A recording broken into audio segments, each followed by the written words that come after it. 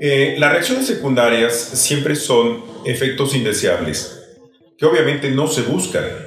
Se pretende la formación de anticuerpos y protección contra una enfermedad, pero puede haber efectos secundarios o reacciones secundarias que son de tipo local, que son las más frecuentes y las menos molestas o las menos graves. Eh, puede haber una reacción generalizada o sistémica, o puede haber una reacción grave que llamamos una reacción anafiláctica. Las reacciones locales simplemente es dolor, enrojecimiento, un poquito de inflamación en el sitio de aplicación de la vacuna. Generalmente son pasajeras de un par de días. Las reacciones generalizadas tardan un poquito más de tiempo en desarrollarse, puede ser malestar general, dolor articular, fiebre, eh, dolor de cabeza, falta de apetito, o las poco comunes y frecuentes que sí pueden ser graves son las reacciones anafilácticas.